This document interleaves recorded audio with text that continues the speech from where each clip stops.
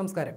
ക്ഷേമ പെൻഷൻ മുടങ്ങിയതിനെതിരെ മൺചട്ടിയുമായി അടിമാലിയിൽ ഭിക്ഷയാചിച്ച് പ്രതിഷേധിച്ച മറിയക്കുട്ടിക്കും അന്നക്കുട്ടിക്കും സഹായ വാഗ്ദാനവുമായി നടനും ബി ജെ പി നേതാവുമായി കൃഷ്ണകുമാർ. ഇരുവർക്കും ഒരു വർഷത്തെ പെൻഷൻ തുക നൽകാമെന്ന് കൃഷ്ണകുമാർ ഫോണിൽ വിളിച്ച് ഇരുവരെയും അറിയിച്ചു. ഈ പ്രായത്തിൽ പിച്ചച്ചട്ടി എടുത്തിറങ്ങേണ്ട കാര്യമില്ല. പെൻഷൻ മുടങ്ങിയിരിക്കുകയാണല്ലോ. ഒരു വർഷത്തെ പെൻഷൻ ഞാൻ നൽകാമെന്ന് കൃഷ്ണകുമാർ മറിയക്കുട്ടിയോട് പറഞ്ഞു.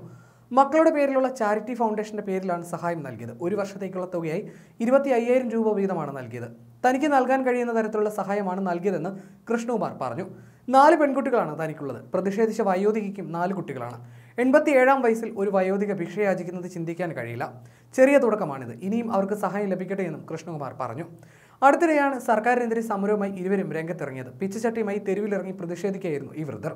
വിധവാ പെൻഷൻ കുടിശ്ശിക അനുവദിക്കുക പാവങ്ങളോട് നീതി കാണിക്കുക പാവങ്ങളുടെ പിച്ചച്ചട്ടിയിൽ കൈയിട്ട് വാരാതിരിക്കുക കറണ്ട് ബില്ല് അടയ്ക്കാൻ നിവൃത്തിയില്ല തുടങ്ങിയ കാര്യങ്ങൾ ചൂണ്ടിക്കാട്ടിയായിരുന്നു സമരം. ക്ഷേമ പെൻഷൻ മുടങ്ങിയതോടെ സാമ്പത്തിക പ്രതിസന്ധിയിലായ അമ്മമാർ പ്രതിഷേധ സൂചകമായി അടിമാലി ടൗണിൽ പിച്ചച്ചട്ടി എടുത്ത് ഭിക്ഷയാചിച്ച് നടത്തിയ സമരം ശ്രദ്ധയാകർഷിച്ചിരുന്നു. സമരത്തിൽ പങ്കെടുത്ത മറിയക്കുട്ടിയെ വ്യക്തിപരമായി അധിക്ഷേപിക്കുന്ന വിധത്തിൽ സി പി എം പ്രചാരണം നടത്തിയിരുന്നു. മറിയക്കുട്ടിക്ക് രണ്ട് വീടുകളും ഒന്നര ഏക്കർ ഭൂമിയുമുണ്ടെന്നും നാല് പെൺമക്കളിൽ ഒരാൾ വിദേശത്താണെന്നുമുള്ള പ്രചാരണമാണ് സി പി എം നടത്തിയത്. ഈ ആരോപണങ്ങളെല്ലാം തെറ്റാണെന്ന് മറിയക്കുട്ടി തെളിയിച്ചു. സർക്കാരിന്റെ ക്രൂരതകളെയും അഴിമതികളെയും പുറം ലോകത്തെ അറിയിച്ച മറിയക്കുട്ടി പിന്നീട് സി പി എമ്മിന്റെ ആക്രമണത്തിന് ഇരയാകുകയായിരുന്നു. മറിയക്കുട്ടിക്കെതിരെ വ്യാജ വാർത്ത നൽകിയ ദേശാഭിമാനിക്കെതിരെ മറിയക്കുട്ടി രംഗത്ത് വന്നിരുന്നു. ഇതിനു പിന്നാലെ ഖേദം പ്രകടിപ്പിച്ച് സി പി എം മുഖപത്രം രംഗത്ത് വന്നു. അഭിമാനത്തിന് കോട്ടം വരുത്തിയ പാർട്ടിക്കും പത്രത്തിനുമെതിരെ ഹൈക്കോടതിയെ സമീപിക്കാൻ ഒരുങ്ങിയാണ് എൺപത്തിയേഴുകാരി. മറിയക്കുട്ടിക്കെതിരെ വാർത്ത നൽകിയതിൽ സി പി എം മുഖപത്രം ഇന്നലെ ഖേദപ്രകടനം നടത്തിയിരുന്നു. എന്നാൽ ഖേദപ്രകടനത്തിൽ തീരുന്നതല്ല തനിക്കുണ്ടായ അപമാനമെന്നും കോടതിയെ സമീപിക്കാനുള്ള തീരുമാനത്തിൽ മാറ്റമില്ലെന്നും മറിയക്കുട്ടി പ്രതികരിച്ചു. ഖേദം പ്രകടിപ്പിക്കേണ്ടത് കോടതിയിലാണെന്നും അവർ പറഞ്ഞു. പലചരക്ക് കടയിൽ നിന്ന് സാധനം വാങ്ങിയതിന്റെ പറ്റ് മട്ടാഞ്ചേരിയിലെ വ്യവസായി മുകേഷ് ജെയിൻ തീർത്തു. ഇതുകൂടാതെ ചട്ടയും മുണ്ടും പലചരക്ക് സാധനങ്ങളും നൽകി. നിങ്ങളുടെ മക്കളാണ് ഞങ്ങൾ.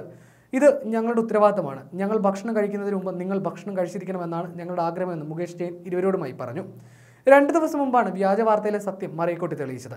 അടുത്ത ദിവസം ദേശാഭിമാനി മാപ്പ് പറഞ്ഞില്ല. കേസിന് പോകാനുള്ള നീക്കം തുടങ്ങിയപ്പോഴാണ് ഖേദപ്രകടനം നടത്തിയത്. സഖാക്കളുടെ വ്യാജ വാർത്താ നിർമ്മിതി കേന്ദ്രമായ ദേശാഭിമാനിയുടെ ഒടുവിലത്തെ നുണയായിരുന്നു അടിമാലി സ്വദേശി മറിയക്കുട്ടിക്കെതിരെയുള്ളത്. ക്ഷേമ പെൻഷൻ മുടങ്ങിയതിനെ തുടർന്ന് ഭിക്ഷയാചിക്കാൻ മൺചട്ടിയുമായി ഇറങ്ങിയ വൃദ്ധരിൽ ഒരാളായിരുന്നു മറിയക്കുട്ടി. മറിയക്കുട്ടിക്ക് ഒന്നര ഏക്കർ സ്ഥലവും രണ്ട് വീടും ഉണ്ടെന്നുമായിരുന്നു ദേശാഭിമാനിയുടെ കണ്ടെത്തൽ. ഇതിനെ വില്ലേജ് ഓഫീസ് വഴി തന്നെ മറിയക്കുട്ടി പൊളിച്ചതോടെ നാണക്കേടിലായി ദേശാഭിമാനി. കേസിനെ ഭയന്ന് ഖേദപ്രകടനം നടത്തി. എന്നോട് കൂടി ചോദിച്ചിട്ട് മതിയായിരുന്നല്ലോ ഈ പരിപാടിക്ക് പോകാൻ.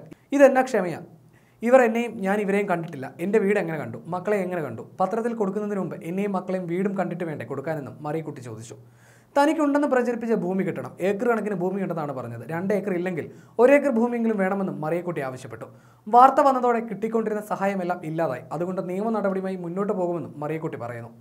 വർഷങ്ങൾക്ക് മുമ്പ് ഇത് വിറ്റു. ഇപ്പോൾ ഇരുന്നൂറ് ഏക്കർ എന്ന സ്ഥലത്താണ് മറിയക്കുട്ടിയുടെ താമസം. മറിയക്കുട്ടിക്ക് സ്വന്തമായി ഭൂമിയുണ്ടെന്നും ഇവരുടെ മകൾ പ്രിൻസി വിദേശത്താണ് താമസിക്കുന്നതെന്നും വാർത്ത വരാനിടയായതിൽ ഖേദിക്കുന്നുവെന്നും ദേശാഭിമാനി അറിയിച്ചു. മറിയക്കുട്ടി താമസിക്കുന്ന വീട് മകളുടെ പേരുള്ളത് എന്ന തലക്കെട്ടിലാണ് ഖേദപ്രകടന വാർത്ത. ഖേദം പ്രകടിപ്പിക്കുന്നുവെന്ന തലക്കെട്ടിലില്ല. ഇതിനൊപ്പം മറിയക്കുട്ടിയുടെ മകളുടെ അടക്കം പേരും കൊടുക്കുന്നു. എന്താണ് മറിയക്കുട്ടിയുടെ വീടിന് സംഭവിച്ചത് എന്ന തരത്തിലാണ് വാർത്ത. അതിനവസാനമായാണ് വാർത്ത തെറ്റിദ്ധരിപ്പിക്കും വിധം വരാനിടയായതിൽ ഖേദിക്കുന്നുവെന്ന് ദേശാഭിമാനി പറഞ്ഞത്. മറിയക്കുട്ടിയുടെ പോരാട്ടമാണ് ദേശാഭിമാനി വാർത്ത വ്യാജമെന്ന് തെളിയിച്ചത്. ദേശാഭിമാനിയുടെ കോട്ടയം എഡിഷനിലടക്കം അഞ്ചാം പേജിലാണ് ഖേദപ്രകടന വിശദീകരണം.